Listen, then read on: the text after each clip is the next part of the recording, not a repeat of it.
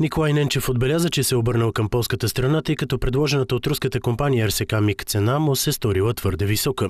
Договорът за ремонта на миговете ще бъде подписан до дни. От полска страна са дали гаранциите за качеството и ремонта, уточни още министърът. Което означава, че до края на тази година ние ще получим два отремонтирани двигателя и до средата на годината или по-скоро до края на месец април ще имаме отремонтирани 6 самолета, които са напълно достатъчно, плюс тези, с които разполагаме към момента. Което означава, че ако решим да ремонтираме 10 самолета, това са около 24 милиона.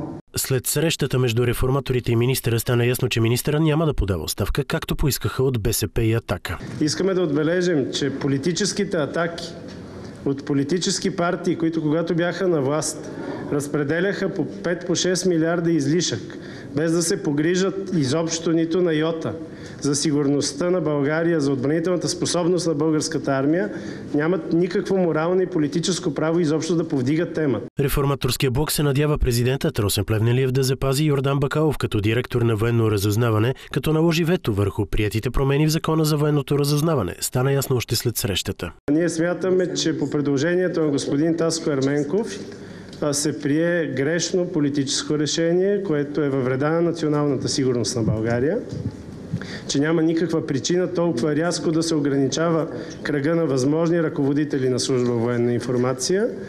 Ние се надяваме на президентско вето и на сериозен задълбочен диалог с колегите ни от ГЕРБ и от другите партии от мнозинството, преди да бъде гласуван отново този текст. Както знаете, в четвъртък депутатите зачеркнаха Бакалов като шеф на военното ни разузнаване, като приеха изменения, според които директорът на военно разузнаване може да бъде само военнослужащ на действителна военна служба с висше военно звание. Идеята дойде от страна на БСП Лява България, но изненадващо получи подкрепата и на ГЕРБ.